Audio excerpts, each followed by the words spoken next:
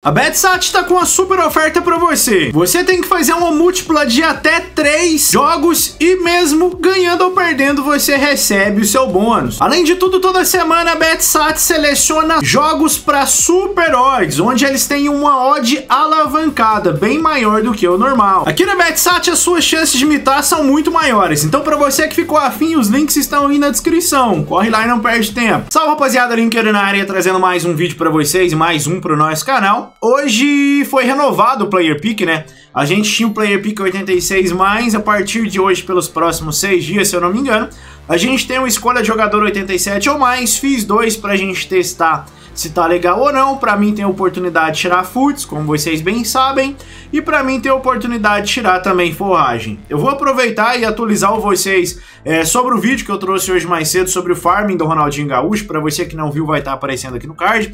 Só vamos abrir esses dois player picks aqui primeiro. E aí a gente dá continuidade. Pô, aqui vê o Barnes, vai ser enviado lá no DME do Ronalducho. E vamos para mais um 87 ou mais, veio 89, serão enviados lá também. É, não deu lá tão bom, tá? Aqui, rapaziada, é, algumas pessoas ficaram com dúvida né, em relação à quantidade de garantia de seleção da semana negocial a gente podia fazer. A gente pode fazer três vezes por dia, todos os dias 14 horas renova.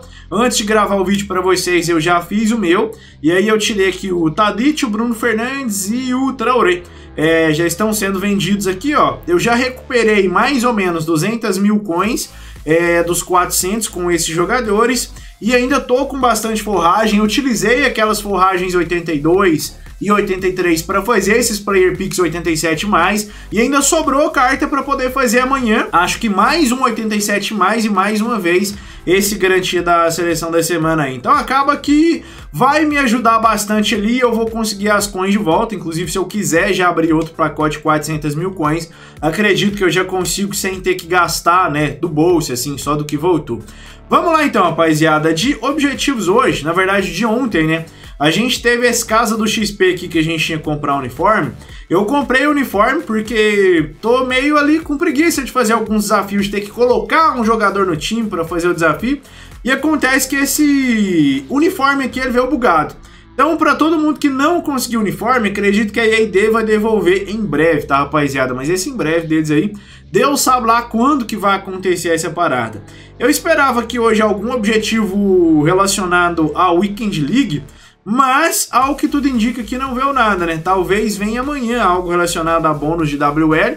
É, até esse momento aqui a gente não teve nada disso. E daí de DMEs hoje, a gente teve o Player Pick 87+, que para mim tem que ser feito. Esse DME vai sair entre 45 e 50 mil coins, é um uniforme, classificação geral 82. Cara, como eu fiz os meus? Eu colocava aqui, normalmente, quatro jogadores overall 83, tá? E completava o restante com 80.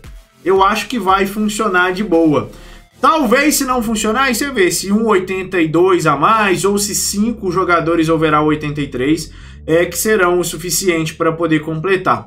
Mas se você quiser esse desenho aqui também, ó, gasta 4,83, 1,82, 1,81, 1, 2, 3, 4,80 e 1,79, tá?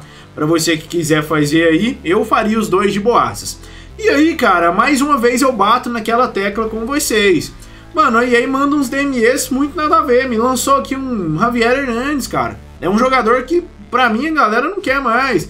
É igual o Fernando Torres, Cherki, tá ligado? Pô, cadê o momento que a gente vai receber DMEs que realmente sejam diferentes? No ano passado, no Futs, todos eram escolhidos pela comunidade por votação, né? Pelo menos alguns e aqui, nada é escolhido por votação, simplesmente ela lança. E hoje foi o dia do Ticharito. O DME dele é um elenco 86, rapaziada. É, pra mim é muito mais viável fazer, sei lá, um 1084 mais, né?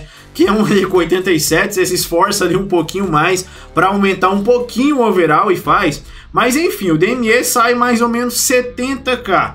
Para você que fala às vezes, olha, eu sou fã do Ticharito, mano. Aí, beleza, até que justifica. Mas se esse não for o caso, para mim não compensa. Beleza que ele é premium, vai entrar contando 3 de link, mas quem de mexicano que você vai colocar para linkar com o México? Tipo, para ajudar a dar o 33 total, tá ligado? Para completar ainda a bagaceira, ele é 4 skill. Sério?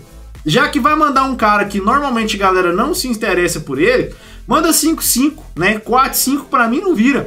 Características: chute trivela, finesse shot, facilidade de se machucar. É um jogador de 1,75m, ele é alta média.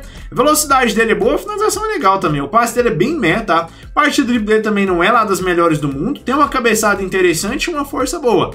Para esse cara eu utilizaria Falcão, com a 99 chuta 98 e melhora também o físico.